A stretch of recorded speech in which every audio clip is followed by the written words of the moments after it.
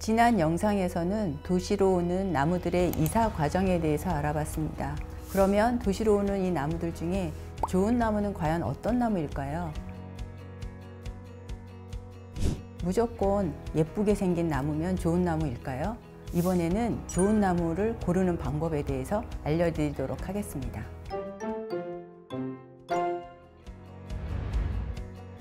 나무는 여러분이 아시는 것처럼 여러 가지 역할을 하고 있습니다. 광합성을 해서 사람들한테 산소를 제공하고 꽃과 열매는 사람들한테 아름다움을 제공하고 뻗어난 가지에 있는 잎들은 그늘을 제공하기도 합니다. 또 뿌리들은 토양을 단단히 잡고 있음으로 인해서 홍수나 산세태로부터 사람들을 안전하게 보호하기도 하죠. 또 도시에 사는 나무들은 우리의 일상과 생활 곳곳에서 자연의 아름다움과 여유를 만끽하게 해주고 있습니다. 그러면 좋은 나무란 아름다움만 제공하면 되는 걸까요? 아닙니다. 너무 빠르게 자라는 나무는 주변에 관리를 힘들게 하기도 합니다. 또한 사람들의 통행이나 시야를 확보하는 데 문제를 제공하기도 하죠. 나무의 꽃과 열매는 향도 중요한데요. 유해한 성분이나 불쾌한 냄새가 발생하면 안 되겠죠. 또한 도심에서는 매연이나 미세먼지 같은 어려운 환경성에서도 잘 자라고 또 공기 정화 기능이 강한 나무일수록 좋은 나무라고 할 수 있겠습니다.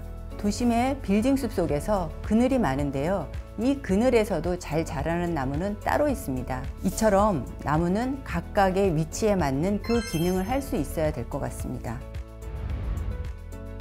이러한 여러 가지 조건들을 다 갖추다 보면 나무를 고르는 데는 수종, 나무의 종류가 한정될 수밖에 없는데요. 최근에 조경의 기술이 많이 발전하여서 다양한 수종을 저희는 접할 수 있게 되어 있습니다.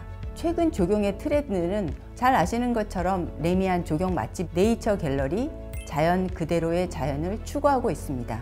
레미안 조경에서 보시면 어디 먼 산에서 봤던 석가산, 그 석가산 사이를 흐르는 물, 또 꽃과 나무. 그래서 내가 마치 도시가 아닌 자연에 와 있는 것을 느끼실 수 있으실 텐데요. 그것이 최근의 트렌드라고 할 수 있겠습니다. 결국 좋은 나무란 그 위치에 그 기능에 맞고 사람들한테 아름다움을 제공할 수 있는 나무. 그런 나무가 좋은 나무가 아닐까요? 주변에 조형물과 식물들이 조화를 이루는 것을 관심 있게 보신다면 조경이 스쳐 지나가는 풍경이 아니라 나만의 작품을 찾는 재미를 가지실 수 있을 것 같습니다.